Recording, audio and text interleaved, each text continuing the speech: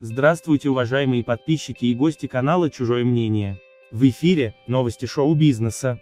В понедельник, 25 мая, в 19 часов ровно на новом канале состоялся финал реалити-шоу «Вид пацанки до понянки».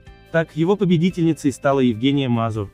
Девушка получила звание главной понянки, 100 тысяч гривен и золотую брошку Феникса. Так, как же изменилась Мазур за время проекта? Евгений Мазур 19 лет и она родом из Винницы. До проекта девушка 4 года употребляла запрещенные вещества, а также зарабатывала на игровых автоматах. Когда мама Жени призналась ей в том, что ее отец умер от передозировки, для девушки это стало настоящим шоком. Она поняла, что не хочет повторить судьбу отца. Поэтому на проект «Вид пацанки» до понянкой Мазур пришла, чтобы избавиться от зависимости и изменить жизненные приоритеты. На шоу Евгения прошла нелегкий путь изменений.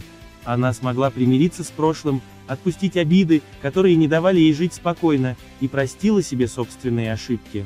А главное, перестала употреблять запрещенные вещества. Она поработала над собой чуть больше других. Был момент, когда Женя погрузилась в себя и сделала правильные выводы. Самая большая ее победа – отказ от запрещенных веществ, на которые она основательно присела. Вся команда тяжело переживала ее ломки, эмоциональные перепады, многочисленные вызовы скорых. Грубая пацанка оказалась добрая девушка, которая способна сформулировать свое мнение и желает стать лидером, сказала директор школы леди, Татьяна Макриди.